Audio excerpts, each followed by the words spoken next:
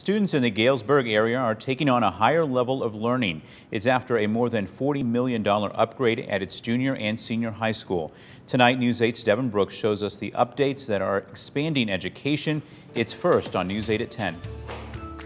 Almost everything was renovated. In the halls of Galesburg Junior Senior High School, There really isn't an area of this building that wasn't retouched. there's a new direction of learning. We ripped everything down to the studs. I mean, we ripped everything out and went to uh, basically just an empty shell of a building and then rebuilt it. Galesburg School Superintendent John Asplin says we're now looking at the finished product of more than $40 million of upgrades. That's the orchestra pit. So sound is designed to hit that angled ceiling and come out onto the crowd. With an open house Friday, the community got to see the state-of-the-art facility. It doesn't look like the same high school that actually I attended back in the 90s.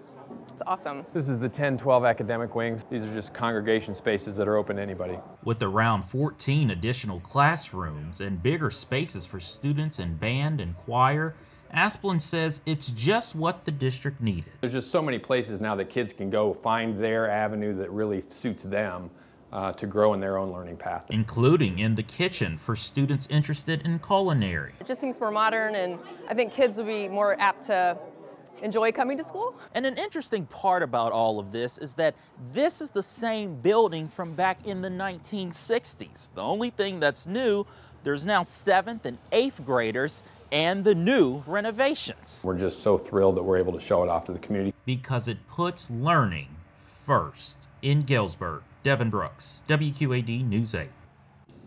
And across the street from the junior high is a new vocational center for students. The district will also have a new early childhood and administrative center. Both of those are expected to be completed next year.